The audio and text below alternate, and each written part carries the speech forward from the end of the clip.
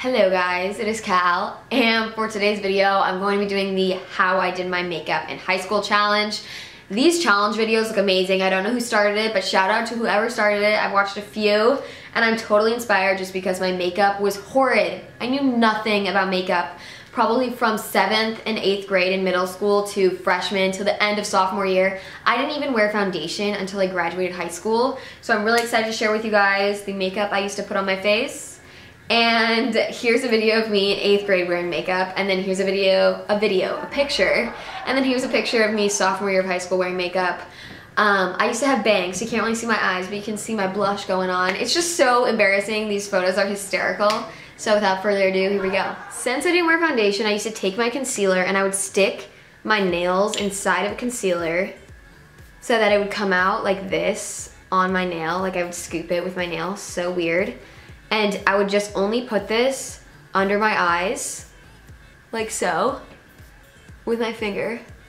I would just go like this. And then I do the other eye. and sometimes this concealer wouldn't even match my face.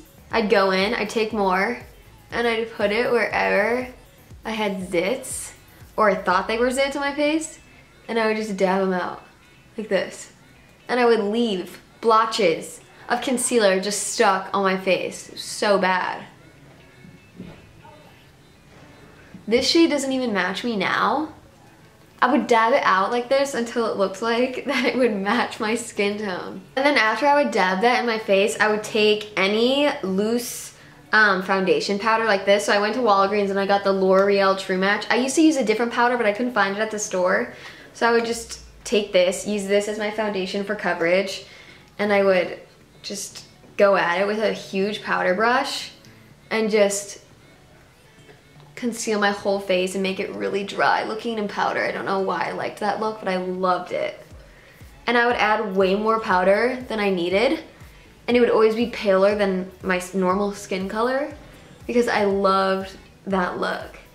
My worst fear when I was younger is to be a cake face. It was literally my worst fear um, so I'd always make sure that whatever powder I would have would be two shades lighter than my actual face. So I would have a pale cake face. The coverage on this is actually pretty good. I'm not lying, look at my face. But I would literally pack this on for maybe five minutes until I felt I was covered enough. And then once I would do that, I would go for my eyeshadow and I never used any eye primer or anything like that or I would never use um, brushes for eyes.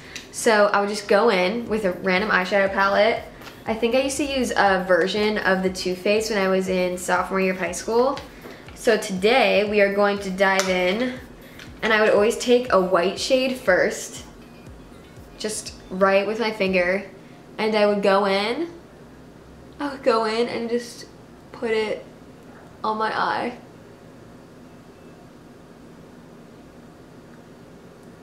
just really messy. I remember, I literally remember doing this, getting ready for school in the morning. And then I would take in whatever color I wanted next, which I usually would use a light pink color, and put it in the middle. And then on the outside, I would do a brown or a purpley brown color. So here, I would just put out my finger like this and dab it out in the corner just like this. I can't believe I'm putting makeup on with my fingers right now. It feels so weird.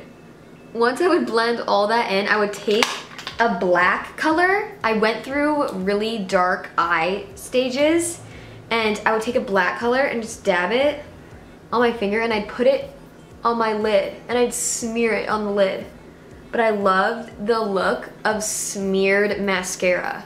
So I tried to do that effect to my eyes. And I'd put it right on top of the light pink. Weirdest thing ever, I know. This is so funny to do because I would do this and I'm like, oh my gosh, this looks amazing.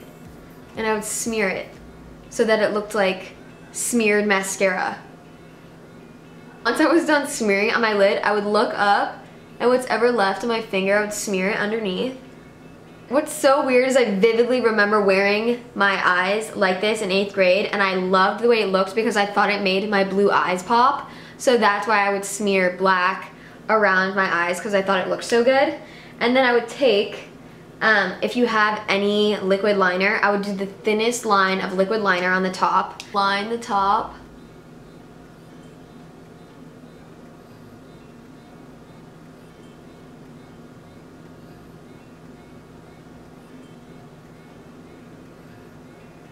And then after I was done lining the top, I would go in with any other black dry liner. I used to put liner on my waterline super aggressively and I would never do it all the way in the corner because black stuff would get caught in the corners and I would never put it over there so I'd only put it from here over and then same on this side. Oh my gosh, this is hysterical. My friends got me addicted to putting silver glitter on the lining of my top lash line. We used to get it at Victoria's Secret. It was the best. It was our favorite. We used to add silver lined glitter and we would wear it to school all the time because we thought it made our eyes sparkle. So I went to the drugstore and this is all the one I could find. And I would just line right above my black with silver glitter. It used to be way more intense than this too, which is so funny. I never wore bronzer. I would only wear blush because I thought bronzer was only for people who were originally tan. And since I was so pale, I was like, oh, I can't wear bronzer because I'll look like a cake face because I was so scared of being a cake face. This is the blush that I actually used to use. It is my mom's old MAC blush. I stole it from her cabinet. Oh my gosh, should I just get glitter up here? Oh, they aren't dry yet. So I would just take any brush and as you guys can see, the pink is kind of carved out because I would try and use the brush only in the pink part because I loved the pink color, but I would literally just go like this. Right on the apples of my cheeks.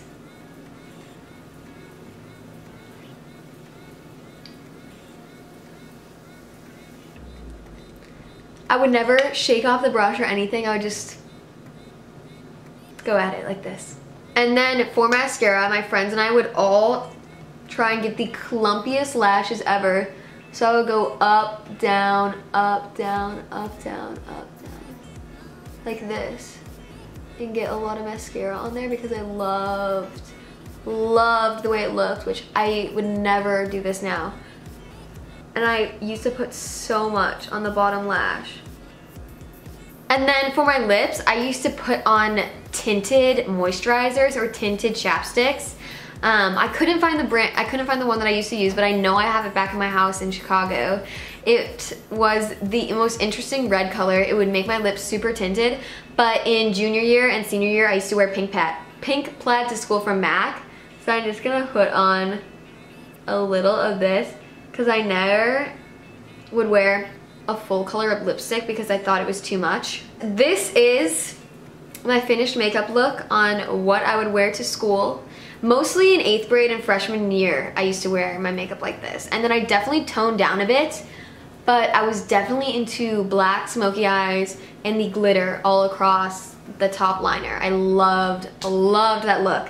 And then I used to have bangs, but when I didn't have bangs, I used to wear my hair to the part on this side and I would swoop it over like this so that I looked like this at school. And I used to literally wear my hair like this and this was who I am. Thank you guys so much for taking the time to watch this video. Please subscribe to my channel and comment down below what kind of makeup you used to do when you were in high school or middle school or whenever you decided to wear makeup if you did. But I love you guys. Have a marvelous day. Bye.